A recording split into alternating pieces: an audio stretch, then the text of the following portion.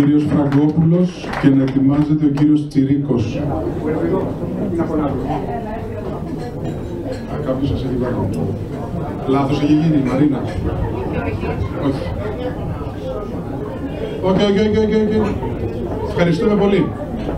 Άρα να ετοιμάζεται ο κύριος Καλοφολιάς. Ο κύριος Φραγκόπουλος τώρα. Καλησπέρα σας. Προέρχομαι από την ε, πρώην δημοτική οργάνωση του Σαρονικού. Λέω πρώην γιατί έχει ε, συγκροτηθεί μια άλλη μεγαλύτερη. Κάποτε είχαμε αρκετά μέλη, τώρα νομίζω ότι είμαι ο μοναδικός στο Σαρονικό ολόκληρο που παραμένω στο ποτάμι. Κοιτάξτε, έφυγα από το Πασόκ όπου ήμουν μέλος επί 30 περίπου χρόνια και μεγάλο συνδικαλιστικό στέλεχος, έχω φτάσει μέχρι τη ΓΕΣΕ και πρόεδρος μεγάλης ομοσπονδίας του ιδιωτικού τομέα. Το 2008, προκρίσεις, τότε ανακάλυψα τι ήταν το Πασόκ και έμεινα εκτός κομματικών σχηματισμών μέχρι που έγινε το ποτάμι.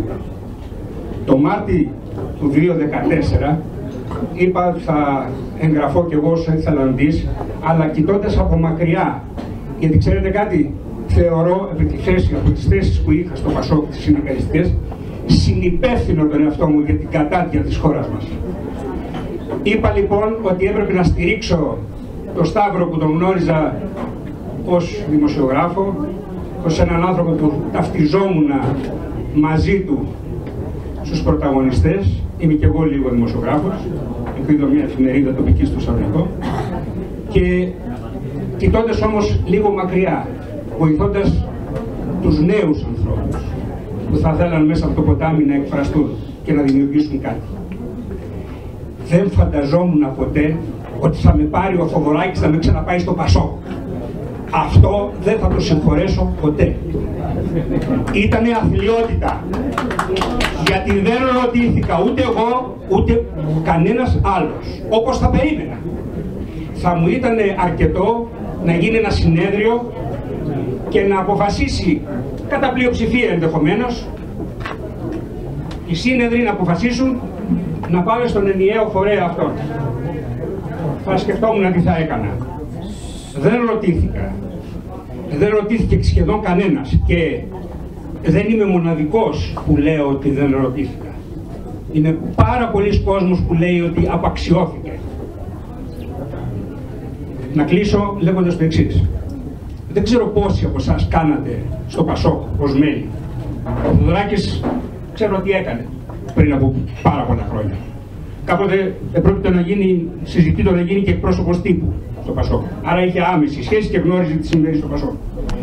Ο μηχανισμός, ο μηχανισμός, η ίντρικα, αυτό που συνέβαινε ανέκαθεν στο Πασόκ δεν έχει πάψει κύριε. Αυτό που είπαν κάποιοι σύντροφοι είναι πολύ σωστό. Δεν θα ασχοληθεί κανένας με το ποτάμι στο συνέδριο. Θα σφαγούν μεταξύ τους. Αυτό είναι απόλυτα βέβαιο και σημειώστε το. Τελειώνω. Όταν φτάσουμε βέβαια στις εκλογές θα γίνει ένας τιτάνιος αγώνας ποιος από αυτούς θα ελέγξει την κοινοβουλευτική ομάδα δεν θα μείνει ρουθούνι από το, πασό, από το ποτάμι. Και δεν ξέρω αν ο, ο Θοδωράκης έχει εξασφαλίσει μια θέση που το εύχομαι στην, στο, στο ψηφοδέλτιο επικρατείας, αλλά ούτε ο ίδιος δεν θα εκλεγεί. Εδώ δεν εκλέχθηκε τον, ε, στην Κρήτη τον, ε, τον Γενάρη, έτσι το 2015. Πήρε την ε, έδρα της ε, Ταχιάου στη Θεσσαλονίκη. Δεν θα μείνει ρουθούνι. Πιστεύω λοιπόν ότι έγινε ένα μεγάλο λάθος Νομίζω ότι πρέπει να γίνει συνέδριο. Δεν ξέρω, είπε ο Θοδωράκης ότι στην Πάτρα ήταν 40 άτομα και στη Θεσσαλονίκη 60. Εδώ είμαστε καμιά εκατοστή. Έγινε ψηφοφορία πώς θέλουν συνέδριο ή όχι. Ε, θα γίνει και εδώ τότε. Θα ψηφίσουμε και εδώ. Πολύ ωραία. θα μείνω για να, να ψηφίσω.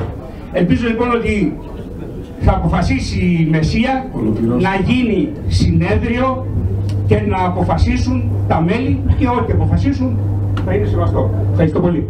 Λοιπόν, η ενημέρωσή σου για το τι συμβαίνει στο ποτάμι είναι τόσο ακριβής όπου επαναλαμβάνεις κάτι που έχω διαψεύσει με απόλυτο τρόπο εδώ και τέσσερις εβδομάδες.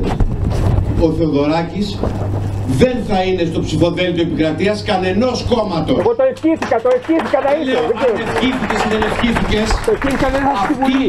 Αυτή, αυτή η συγκεκριμένη λάσπη Δεν είναι ότι λάσπη. Εγώ θα είμαι σε μια θέση διορισμένη δεν έχει σχέση ούτε με την ηθική μου ούτε με το ποτάμι. Άρα μπορούμε να συζητάμε ό,τι άλλο εκτός από αυτό. Και σε παρακαλώ, εσύ έχεις μια εμπειρία Πασόκ.